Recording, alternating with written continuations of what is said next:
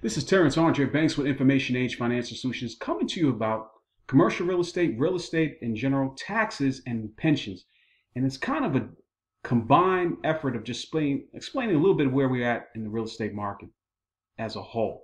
Now, prior to this, I got started real estate in 1999. I did my first deal there. Different economic time.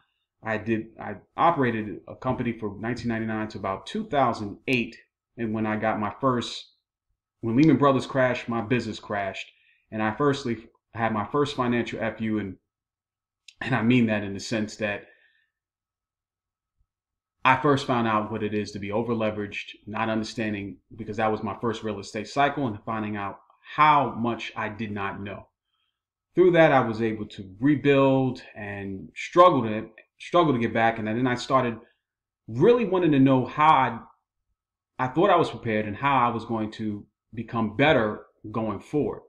Um, studied a lot more, got involved with a private company and as a project manager because I've had a number of real estate experience just to get it from a different angle from the banking side because I usually always use lenders for that process and understand from their perspective of how they looked at the loan and when and trying to find things from a different kind of angle. And so I'm speaking from there, not just as a real estate investor who's have done it before, but also been through a crash cycle and came out and still was able to survive through that particular time.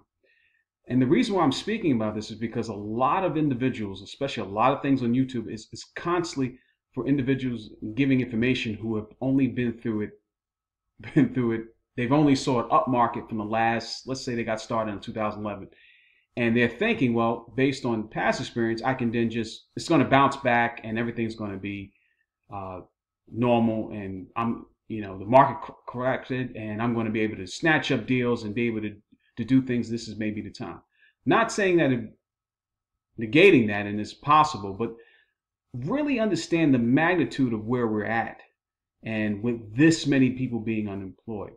Real estate that I had to learn the hard way is, especially if you have been through a crash before, is predicated on employment and banks financing your particular deal when markets and this many people being unemployed and so many different and this is completely different. Now this time is different because they've given not only that they they've thrown the kitchen sink at this they have given people forbearance options and uh, tenants are not having to pay. And we're just finding ourselves in an economic climate that just hasn't existed like this in the past at least 10 to 20 years.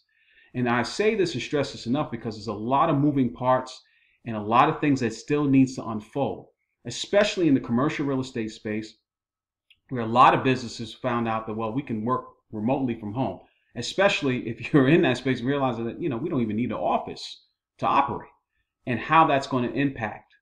And the reason why I'm stating that is because tax revenues are really generated from a lot of issues on terms of real estate itself. And with that, so many people being unemployed, some people businesses changing the direction of how they are going to utilize commercial space going forward, that's going to have an impact and the ripples the ripple effect still has not been seen yet.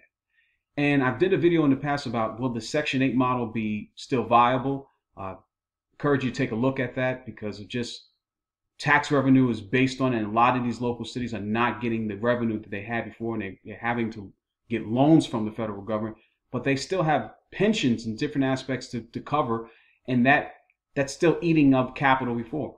And the reason I'm saying this because real estate became in the last eight to ten years just became the, one of the greatest places for people to get revenue at, and a lot of money was thrown in there, from Airbnb to uh, apartment complexes where a lot of that's being subsidized. How that plays out into commercial real estate, it's still unfolding, and people are looking just to jump right back in. I'm in so many conversations with people who who have flips on, you know, flip flipping real estate, and they have some flips on there, and they got it under contract. They're lucky enough to get under contract, and they're finding out that the contracts are not going forward. So they're now having to readjust their particular plan because now they're going to have to hold the property a lot longer than they, they thought they would. Uh, refinancing for rental properties. Uh, the lenders are becoming even more stricter. Your credit scores have to be in over 700 and this is the, the different things that that people are not really taking in consideration enough, especially when I'm seeing all so many people talking to me, especially in the space saying, yeah, we're just going to do just number deals. Uh, can we, can we get more money back in? I, I got plenty of capital on, and their mode of business has been predicated on strictly receiving income from real estate. If you have not been in the cycle before where the real estate market has crashed, you really don't have the experience to know how long the lag time it can be before really things unfold and it's really a time to get back in. I say that from experience and really learning of how it's very hard to come back. And that's why I stress enough be patient, give it six to eight months to see how this really things unfold and how that's going to operate in your particular city, especially with individuals not so many people receiving unemployment, the unemployment issues going forward. Will people be rehired?